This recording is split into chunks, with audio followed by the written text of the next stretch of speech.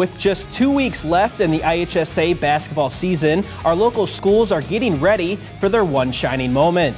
Hello, everyone, and thanks for tuning in to Naperville Sports Weekly. I'm your host, Joe Kennedy. Postseason bowling action continues to roll on this week, but let's first begin with some hoops. In girls basketball, Waubonsie Valley remains unbeaten in the DVC, partially thanks to sophomore guard Daniela Porcozo already reaching 1,000 career points. Neuqua Valley, who came up just a point short against the Warriors earlier this month, sit in second in conference. Let's head to our first highlights as the Wildcats welcomed Naperville Central. Round two of DVC girls basketball action between Neuqua Valley and Naperville Central is on. This time at Neuqua as the Wildcats look to sweep the Redhawks on the series season. The first match saw Neuqua win 65 to 47, and the Redhawks look to strike back, snapping a two-game losing streak. We pick things up with the Wildcats up 6 to 3 early, as Zoe Navarro finds Nalia Clifford, who chucks it over to Kylie Norcus all alone for the easy layup to put Neuqua up 8 to 3. On the next possession, the Redhawks look to throw the ball in, but Quinn Siegel tips it away. The ball finds its way to Clifford, who passes it to Navarro for another quick strike to put Neuqua up 10 to 3. The Wildcats are now looking to get the long range game going as Caitlin Washington passes it to Norcus, who has plenty of time to flush it in a perfect three ball. The Wildcats now go up 17 to 3. Neuqua continues this a couple possessions later. Up now 19 to 5, its roles are reversed as Norcus now passes it over to Washington, and from the same area on the court, she buries in the long three ball. Neuqua now goes up 22 to 5. Washington would provide some action on defense. The Redhawks looking to get some offense going, but Washington acts like an NFL defender, reading the pass and taking it for herself back for the layup to make it a 26 7 game for the Wildcats. The Redhawks would continue to struggle on both phases of the ball, including defense, as Clifford takes the throw in from Washington and buries another three to make it 29 9 Neuqua. They would lead by the score of 31 9 at the end of the first quarter. In the second quarter, Washington continues to be a game wrecker for the Wildcats. Here she intercepts another pass from Central and takes it back for another layup seconds into the second quarter to make it 33 to 9 Neuqua. Naperville Central will try to get some offense going on the next possession as Annabelle Kreitzer pump fakes the Neuqua defense and buries in a mid-range shot to make it 33-11 on the next possession. Later, it's Kreitzer providing the ammunition as she passes it to Adriana Villanova, who just gets in the layup to generate some more offense for the Redhawks. However, Neuqua would put the game away from there as Norcus gets her hands on another three point attempt that she once again wouldn't miss. She and Washington would combine for over half of Neuqua's points on the night. Later on, it's Washington putting the dagger in the heart as she's all alone on the other side of the court and buries through another three. The duo of Norcus and Washington is too much for the Redhawks as Neuqua sweeps the series against Central, winning Game 2 69 36. Moving over to boys basketball, Waubonsie looks to continue its perfect season as they face a tough Metea team that is on a roll of its own. After that, we'll take a look at Neuqua Valley visiting Naperville Central. The Eola Road rivalry matchup sees the 16 and 7 Metea Valley Mustangs play host to undefeated Waubonsie Valley. The Mustangs look to avenge their loss back in December at Waubonsie. The Warriors look to keep their perfect season going and climb the ranks going into the final stretch of the season. Waubonsee starts hot with a deep three from Matt Sessom to make it 3 1. Metea looks to get some life, and Will Ashford cuts inside before posterizing the defender. A beautiful pass and then finish from the Mustangs. But going the other way, the Warriors grab the momentum right back with a breakaway slam by Trey Blissett. Now into the second quarter, Trey Watkins hits an open three and extends the Mustangs' lead to 2013. On the other end, Waubonsie's Moses Wilson hits a wide open three of his own to end the scoreless run they had starting the second. After trailing for much of the first half, Tyree Coleman has a wide open deep three and nails it. The Warriors are now on top 23 22. Into the third quarter, the Mustangs quickly tie it up at 25 as Daniel hits a corner three.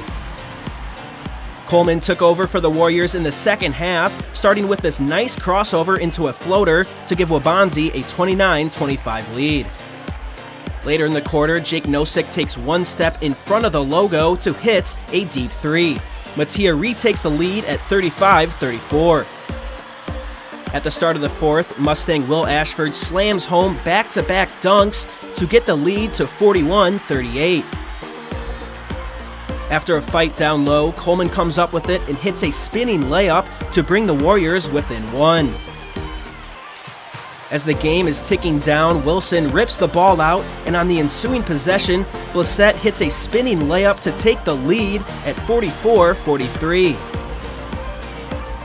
After a couple of free throws, Waubonsie keeps their undefeated season going and goes 2 0 in the Eola Road rivalry with a 48 45 arena shaking victory. It's a special night here at Naperville Central High School as the school inducts its newest Red Hawk legends into the Athletic Hall of Fame.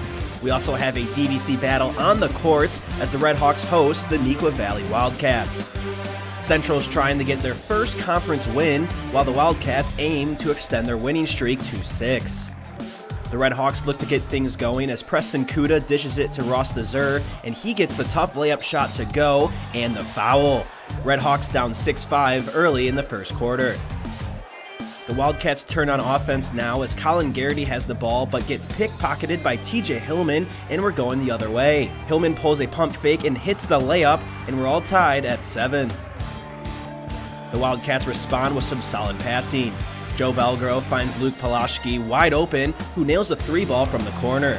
Neuqua Valley closes out the first quarter with a 15 11 lead. Naperville Central's Kuda feeds the ball to DeZer, and he takes on two defenders. He pulls some nice moves to sink the layup and brings the Hawks within two. Neuqua Valley is looking to get some breathing room. Danny Podpora dishes it to Belgrove, and he sends it to Nathan Fiore, who hits the jumper. The Wildcats lead 22-18. Under 30 seconds to go, and the Wildcats look to extend their lead.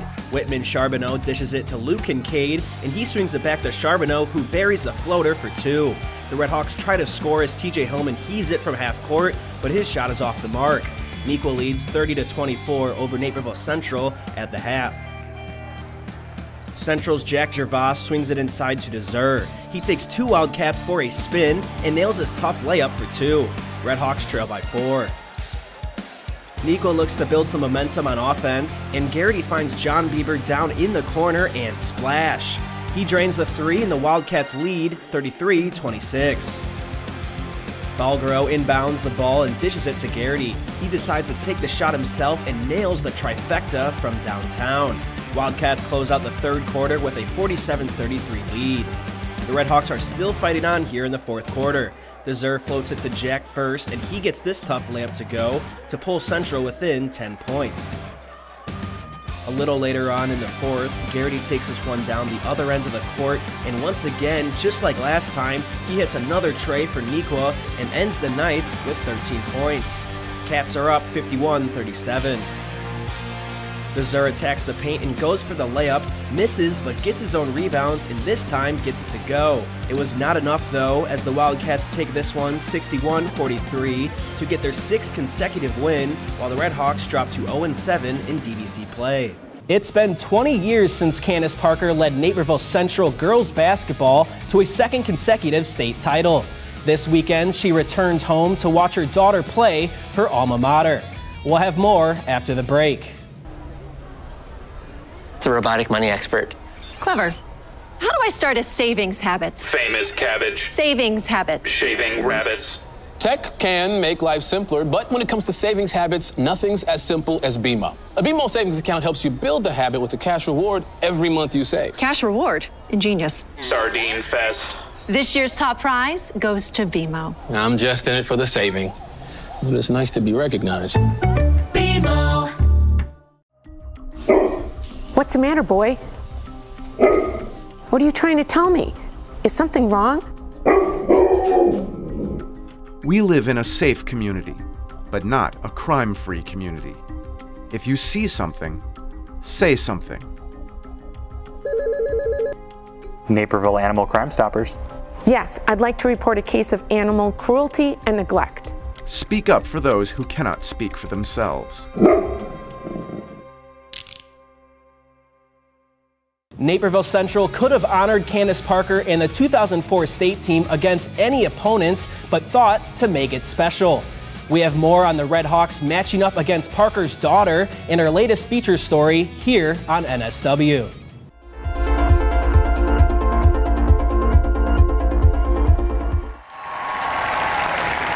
It's been 20 years since Candace Parker led Naperville Central girls basketball to a second consecutive state championship.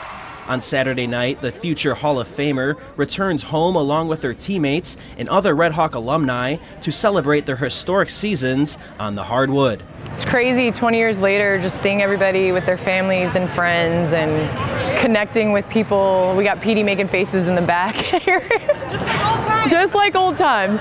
The idea for the anniversary celebration started when two time state champion and 2006 graduate Erica Carter was selected to Naperville Central's Athletic Hall of Fame class of 2024. That ceremony was held on Friday, January 26th. And at some point, I'm like, you know, we have an open day on the 27th. Erica's already going to be here.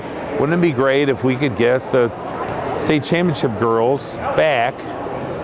And someone to talk to Candace about it, and she says, well, maybe my daughter's team can come out and play.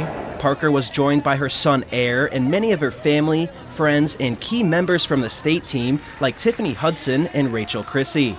But what also made the day so special was watching Parker's daughter Lailaa Williams and Campbell Hall High School face off against Naperville Central. Although she didn't play because of injury, it was not her first time on the NCHS court. It means a lot because, you know, my daughter knows where I came from. She's been back. She's came, came to the Naperville Central camp, and uh, she was bummed she couldn't play today because she hurt her knee. But um, it was just amazing to see everybody that came out to, to watch her team and, and Naperville Central play. Williams attended a Naperville Central basketball camp in the summer of eighth grade while her mom was with the Chicago Sky. She even met some current Redhawks with whom she still keeps in touch with. I actually met my friend Trinity here and we're still close, we still talk like everything and then I still met some friends here so I'm sad that I couldn't get to see them because they had basketball but it was like amazing to like actually see where my mom like won it. Despite Williams' injury, Campbell Hall pulled away from Naperville Central in the second half to win the game by 10 points. At halftime, former Red Hawks were honored, spanning from the class of 1979 to the present day. The highlight was, of course, recognizing both the 2003 and 2004 state championship teams. The 2003 team is the first one to win a state championship, and I, I usually say that was like a magic carpet ride. You know, everything was awesome, everything went right. Then the 2004 team was more like working in the coal mine and never seeing the light of day until the championship game was over. Because, you know, nothing short of winning it again would have been successful. What might have got them out of the coal mine and into the light was a little motivation from an all time great sports movie. Miracle came out in 2004 we went to see it as a team. You know, Herb Brooks, actor, says, "This is their time is over. This is our time. This is our time." I told our girls, "Well, let me tell you something. That's what everybody else is saying, but this is still our time. We're not done yet." It was still their time indeed, as Naperville Central girls basketball didn't need a miracle, just one of the best high school basketball players of all time. During Parker's junior and senior year, Nussbaum says that the Redhawks went 59 and 0 in games she played. Parker has continued to win at every level she's competed in, including two national championships at Tennessee and three WNBA championships, most recently in 2021 with her hometown Chicago Sky and in 2023 with the Las Vegas Aces. Although times change, people grow up, and the style of basketball keeps evolving, most of the former Red Hawks from Saturday nights can share something in common. That's Andy Nussbaum leading the charge of the red and white, who has been at the helm since 1988. Nuss is like the best human. I just love him. Um, we keep in contact, and you know he always checks in on me, and I do the same with him. And um, it's amazing to be able to come back and see that he's still coaching and still loving what he does. And it's also amazing to see how much he cares. I mean, he like knows everybody and um, everybody loves him. I mean, he sang the national anthem today, so it was super special. But I just love Nuss. Um, I really like him as a coach, but I just love him as a as a human. You know what I mean? So I'm just happy he's in my life. For Naperville Sports Weekly, I'm Joe Kennedy. Girls wrestling continues to rise throughout the area, and some of our local teams sent wrestlers to the first ever IHSA regionals this weekend. We'll see how they did after the break. Local news is your lifeline. Let the Daily Herald help you navigate your world with solid reporting, good advice, and a much needed diversion or two.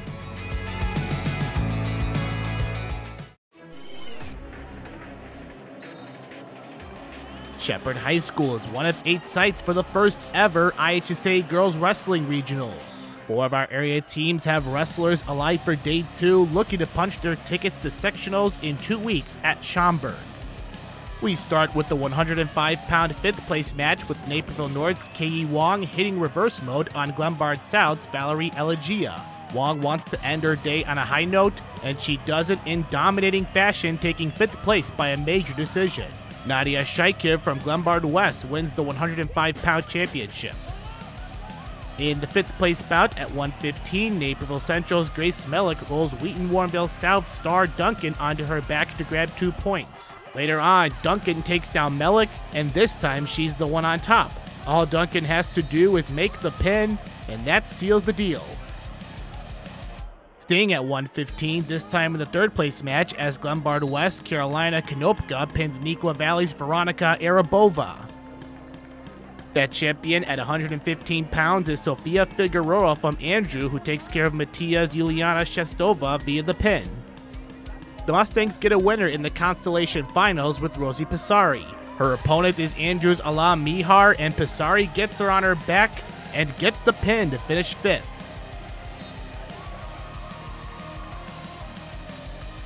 At the 145 pound championship, Batavia Sydney Perry pins her way to a first place spot over Downers Grove North's Natalia Cruz. After a great day on the mats, the first ever girls wrestling regional title lands in the hands of the Andrew Thunderbolts. Naperville Central comes in ninth as the best finish for our area schools in the regional. We'll move over to gymnastics now with our local schools competing in the DVC Championship. Then let's head to Bloomington Normal for the IHSA State Dance Finals. Our area teams are lined up and ready for the Girls Gymnastics DVC Championships at Neuqua Valley. Now they look to dethrone four-time defending DVC champions DeKalb. We begin on the vault with Naperville Central's Harley Sandbrooks attempting a front handspring half that's good enough for an 8.55. Up next is Haley Mitchell from the Valley as her attempt is similar to Sandbrooks and she nabs an 8.32. The Barbs then boost up the scoring with Caitlin Liesefeld, who does a full on front tuck that lands her a 9.07 score. Here comes her teammate Bella Simpson, and she goes all out with a back handspring and pike, which lands her a 9.45, the top score on the night. More action from the Barbs, this time from Gianna Goff on the uneven bars. After a couple of swings, she goes airborne and lands a solid 8.5. Although Red Hawk Gabby Tapia continues her swing with a nice double back tuck that gets her a score of 8.52. Ella Buckenauer for the Valley Co-op also tries out the double back tuck, and it's good enough to put her right on the 8 spot. Buckenauer remains on point by keeping her balance on the beam and does a back tuck to get another score of 8. Kara Jin continues to help out the cause with her moves, and look out below, Jin sticks the landing and scores an 8.4. The Huskies get a strong showing on the beam as well from Aaron Arnold. This performance is good enough for an 8.3. On the floor exercise, Tapia continues attacking her skills with a front tuck and a couple of back handsprings. A strong outing helps her to an 8.45 and the second best all around. It's Lucia Caruso's turn, who does some tucks and handsprings and even adds on a twist. Caruso performs her way to an outstanding 9.1. Ava Koberman for Naperville North is doing what she can for the dogs, and the score of 8.4 will do the trick on the floor exercise. Although this night was all about the DeKalb Barbs, as Simpson dominates in all the events, scoring a 9.4 on the floor, and that helps her to the best all around. These scores help Simpson and the DeKalb Barbs walk away with their fifth straight DVC plaque.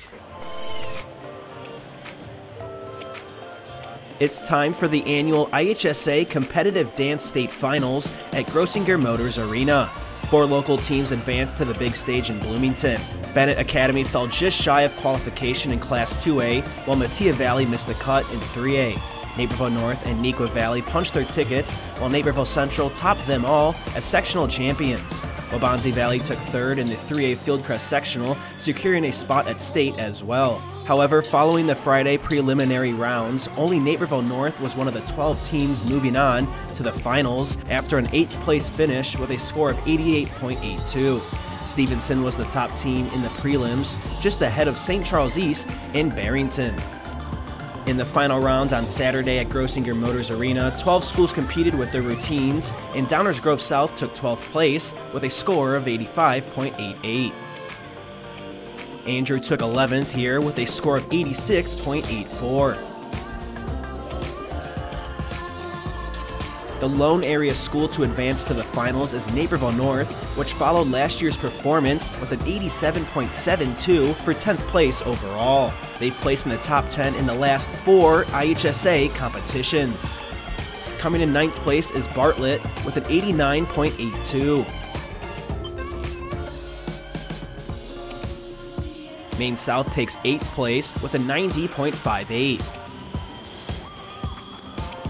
Here we see York, who takes 7th with a score of 90.66. Lyons Township now just gets past York into 6th with a score of 90.98.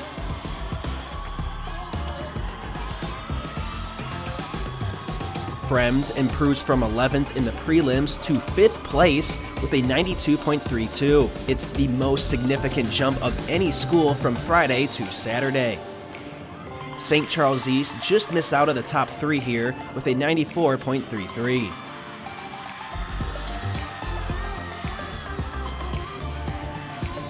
Lake Park qualified fourth on Friday, but improved to take home hardware with a 94.82 from the judges, good for third place in the event from the defending champs. The final two places were decided by the thinnest of margins as Barrington takes second with a 96.24. It's their second year in a row, finishing as runner up. That left Stevenson in first place with a 96.34. Their routine scored the second highest out of any classes as they rounded out the top three with the same schools as last year's competition.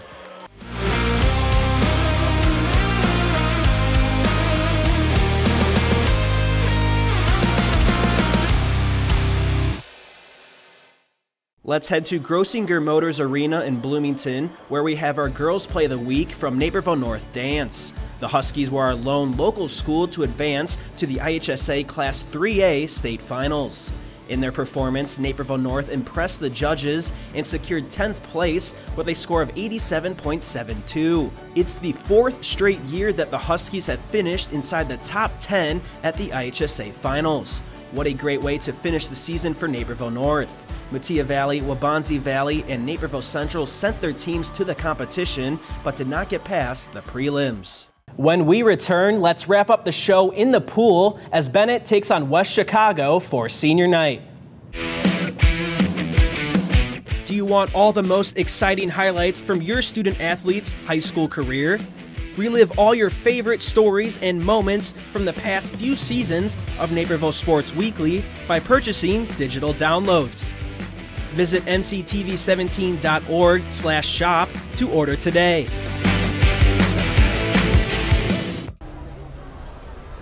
It's a robotic money expert. Clever.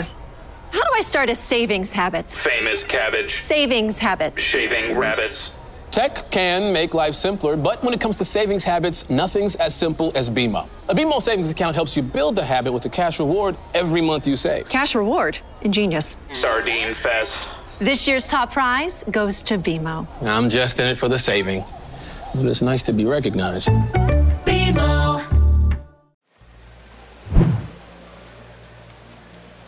We are at West Chicago High School for a boys swimming dual meet. It's also senior night for both Benet Academy and the West Chicago Co op, as both teams honor all their seniors before jumping in the water. We start this one off with the 200 yard freestyle, where the West Chicago Co op team gets off to a great start from Brady Johnson, Ryan Fors, Dylan Clark, and Alex Simonovich. The co op dominated the 200 yard freestyle with a final time of a minute 38.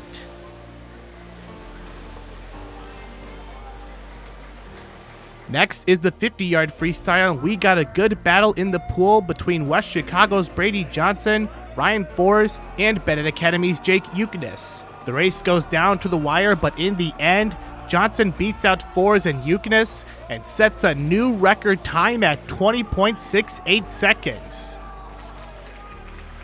The 100 yard butterfly is a close one between West Chicago's Dylan Clark and Benet's Eucnis. These two would be neck and neck down the stretch, but Clark edges out Eucnis with a time of 56.01 seconds.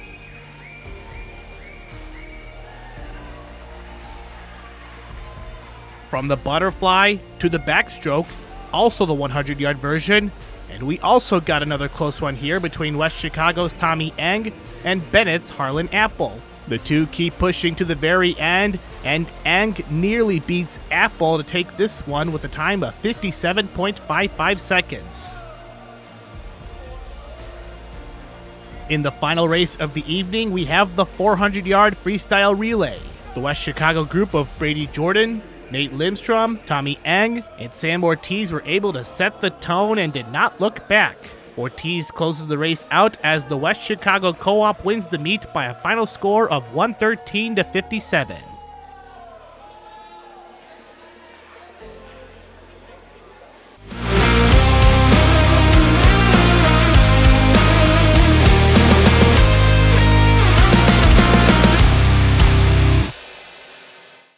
Our boys play of the week sees Metea Valley's Will Ashford rise above the rim for a slam over a Waubonsie defender. Opening minutes of the game, the Mustangs get the ball past half court. Dominic Smith cuts down the baseline and lays it off to Ashford, who wastes no time to dunk all over the defender. A great pass and an even better finish as it sparks some life for Metea. Let's take one more look at the play. Ashford has had some great dunks this season, but this one might be the best. That will wrap things up for tonight's show of NSW. Make sure to come back next week as three more sports enter the postseason. You can find our past highlights, feature stories, and community sports on nctv17.org and our NCTV17 Sports YouTube channel. You can also find us on social media at NCTV17 on Facebook, Twitter, and Instagram. For Naperville Sports Weekly, I'm Joe Kennedy.